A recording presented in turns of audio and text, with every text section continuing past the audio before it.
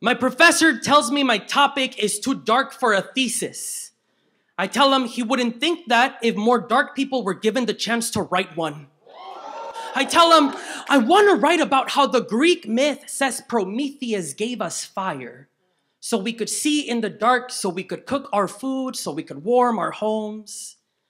But the colonizer lost the translation on the Atlantic while he sailed to us. When he got here, he has only used fire for control. Ask the natives as they became ashes floating in the wind through their pillaged villages. Ask the women of Salem as they went up in flames, praying to a creator that now welcomed them. Ask the burning crosses as their message of hope was distorted into a message of fear. Ask the burning crosses. Ask the scorching churches. Ask, ask, ask. But my professor says to calm down. Says, relax. Says, you know, you got to chill a little bit.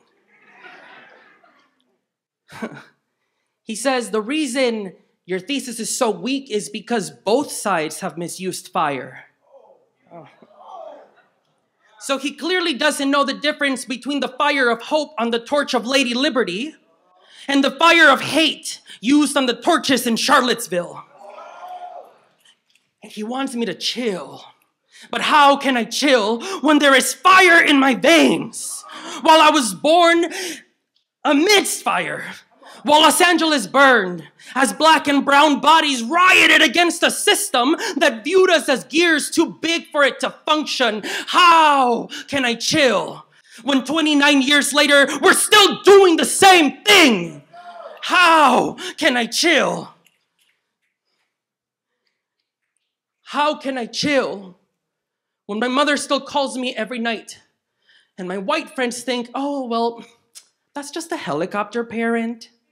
But I know that's just a parent hoping a helicopter isn't chasing her son. How can I chill? When every white supremacist in the White House has used the ink on our skins to paint a target on our backs. How can I chill when their fire of hate is now encased into bullets? And isn't that why they scream fire when they see us? The other thing my professor forgot is that while he burned down my thesis. This poem was born. There is a certain warmth in rebirth. So if you're gonna mess with the hate of the flame of hate, you better be ready for what rises from the ashes.